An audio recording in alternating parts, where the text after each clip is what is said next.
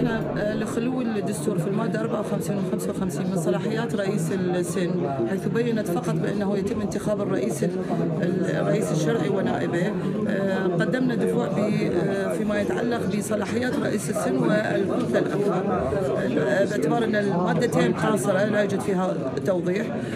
تبينت المحكمة بأنه هناك أعراف وهناك سوابق استند عليها مجلس النواب وتعترف تعرف بأن الأعراف السوابق هي مصدر من مصادر التشريع آه، سار عليها مجلس لأن هناك صلاحيات يتمتع بها رئيس السن وذلك من خلال الكتاب الذي وجه من الدكتور مهدي الحافظ وكذلك من خلال الفيديوهات اللي تم انتشارها بصلاحية آه، رئيس السن محمد علي الذي حتى وصل إلى استجواب أحد المحافظين.